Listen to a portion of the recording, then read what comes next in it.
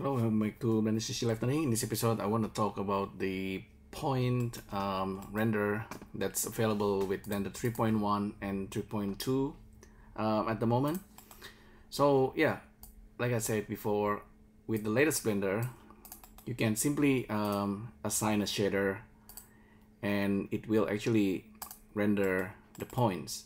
And you can do this using uh, geometry nodes. Okay, say um, this is gonna be like super basics. I'm just gonna tackle like the super basic stuff inside geometry nodes.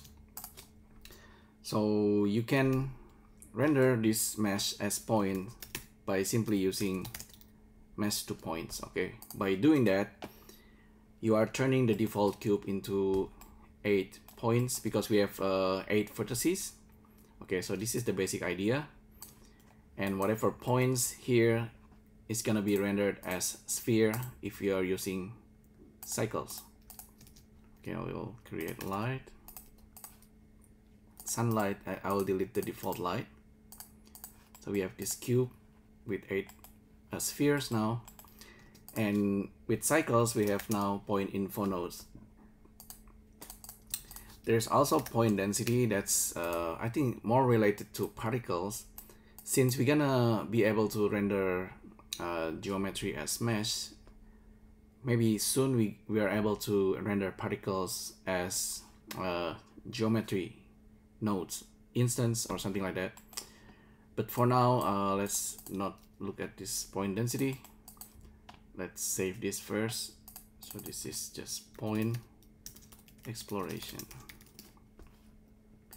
So points, of course, is the simplest things that uh, can exist. Okay, and in geometry nodes. So everything is points and points have positions. So we can turn on spreadsheet if you want to see the points. So points have positions, have radius. It actually have a UV map as well, which is pretty neat. Um, with this point info, we can we can use the positions and we should be able to see some color.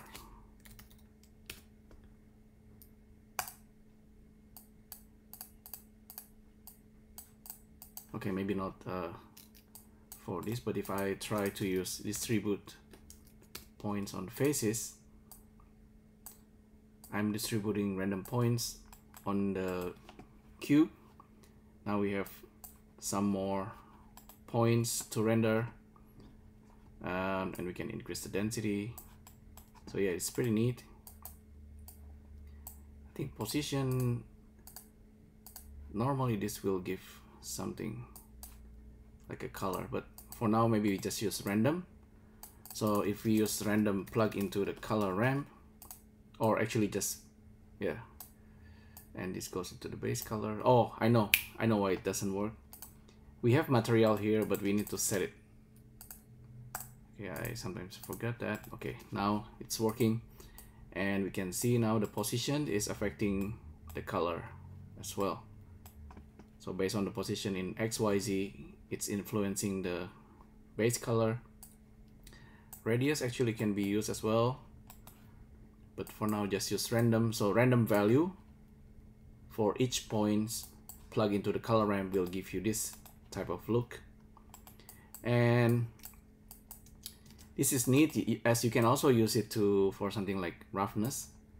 If you increase the metalness, now you, you start to see there's like a some kind of random roughness and at the same time you have metallic. And it's, a, it's quite nice looking. Uh, I think the sphere um, geometry based on the points gonna look nice uh, when you render this out uh, using cycles. You can also turn on subsurface scattering and add a bit of color. So let's try for example if you want to give like a rainbow color to our points. We can try doing this clockwise. Yep. So plug in random. Random is a value between 0 and 1 for each point. Plug into the base color. And this one can be like that. Or this goes into the subsurface. And this can be darker color. So it's starting to look like a like an egg like a roe egg. I think this is pretty neat. Uh, you can play around with this uh, of course uh, on your own time.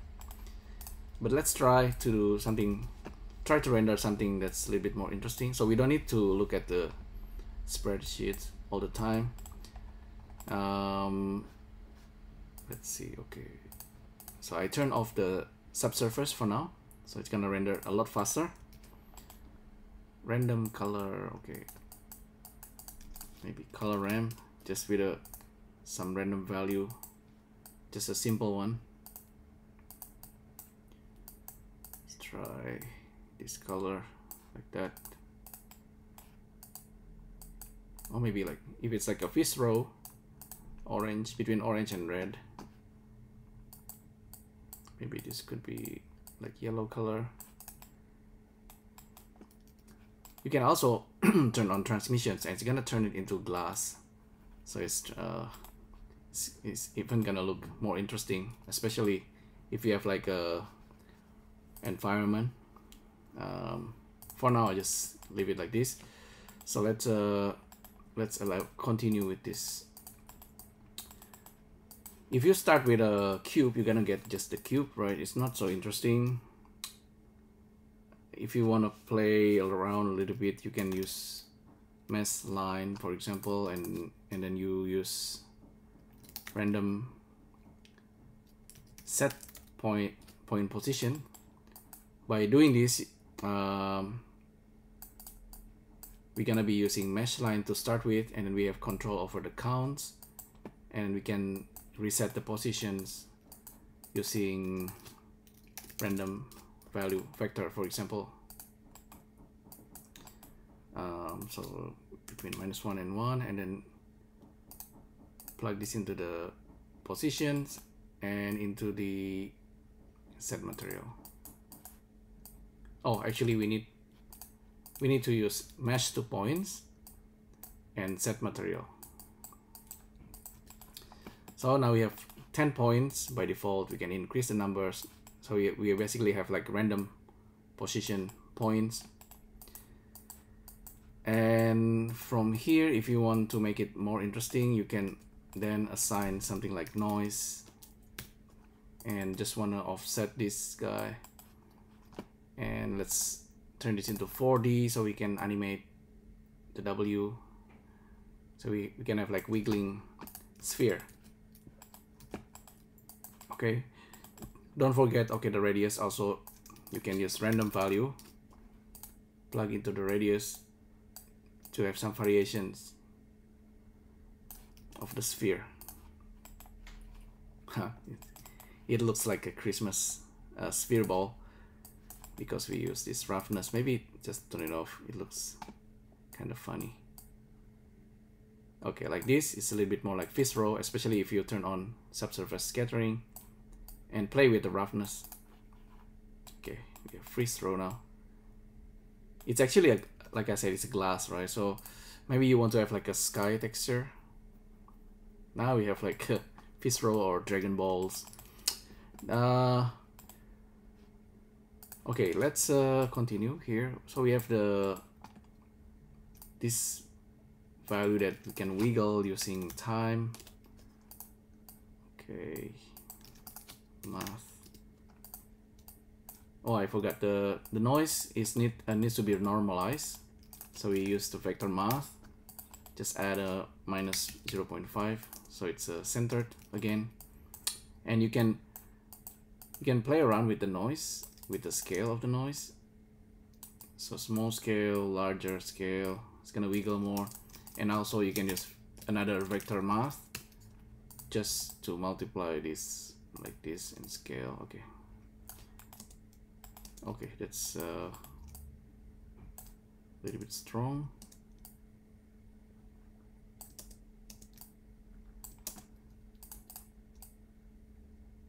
We like it to be like the noise to be like this but we scale it.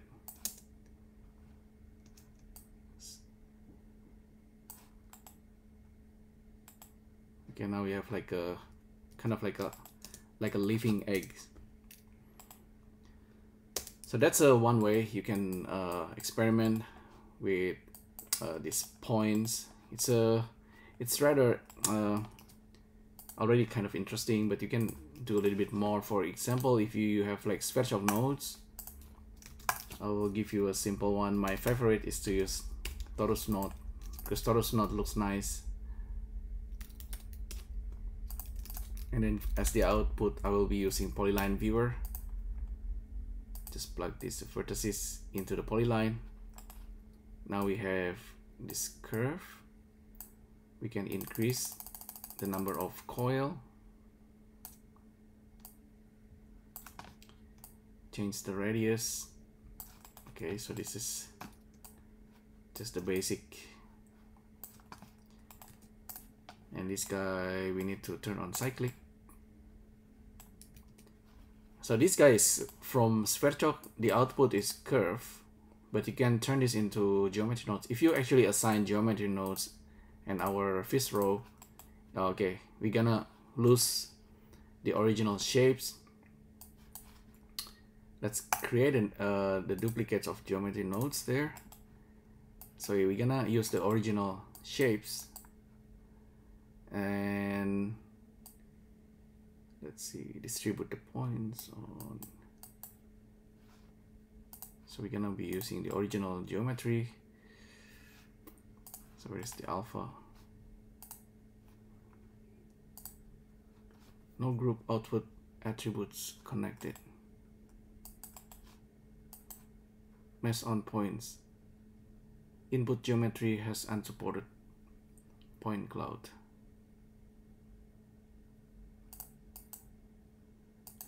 Okay, let's try this first.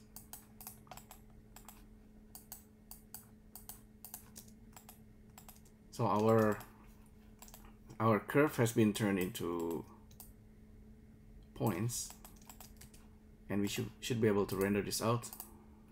So we have like a lots of fish roe there. So we still have control over the radius here and the curve resolutions the radius.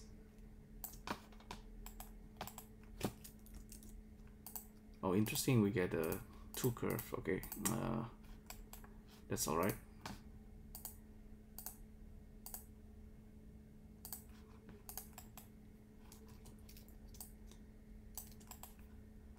So from here I think distribute points on face. We can plug this there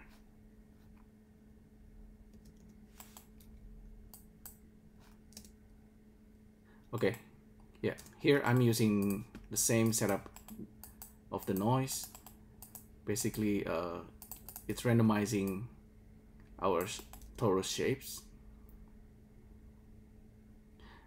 This might started to look like uh, particles, but it's still like the like a normal shapes. Okay.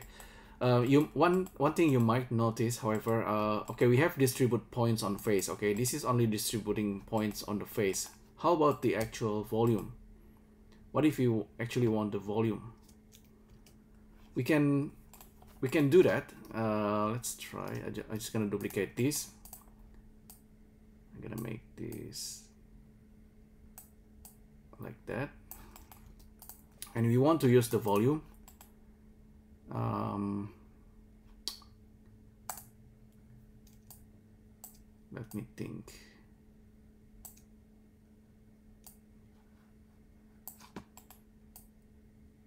I want to use the volume of these coils okay and I'm gonna append uh, this GM fill volume this is from the internet actually Benny Benny showed this to me, um, Benny Govert. And the GM fill volume is basically like this. Okay, it's a random value. So it's using the bounding box basically. From our objects, it's gonna use bounding box and then just create a random value. And then using raycast and dot product and delete geometry is the, it's deleting the points that outside but keeping the points that's the that's in the inside okay short story it will create points as a volume so it's actually really using the volume and this is quite quite interesting setup it's quite advanced uh, it looks pretty simple but I think it's uh, quite cool. It's basically turning mesh volume into points okay? So that's nice when we can use the same setup. The first row. Oh okay. And we should get our points. Maybe I need to increase the size so we only need to worry about the points radius and the point positions. That's the whole point of this experiment just to show you. Okay it's gonna look uh, pretty cool just as it is just like a bunch of points. If you imagine like a like a grain of sands and if you ever look at the sands it's a it's just basically like points like a lot of little spheres. If you look closer of course it's not just points it's just like a there's actually a lot of shapes underneath and that's really the basic idea of geometry nodes. Each point can become just like a sphere or if you instance it you it can become like a instance and it can be of any shapes that's more complex. Okay um what else? From here as it is starting to look like particles you can actually use particles as well if you ever want to do that. So maybe this is for future video tutorial so but basically if you want to use particles create particles bake the particles as alembic and then bring it back as mesh uh, point animations and then use it with geometry nodes and it should work. Okay um, so yeah that's pretty much it. It's a it's just a quick introductions on this points and render this out as um, sphere with the latest version of um, Blender. This is possible and I think you can create really cool maybe you can create like a Sandman's kind of effects using this method as well.